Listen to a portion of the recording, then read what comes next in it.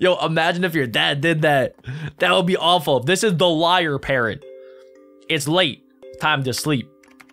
No. My mom would slap me. Santa will come punish you if you're naughty. you're lying. Santa is fake. Oh my gosh, it's Santa.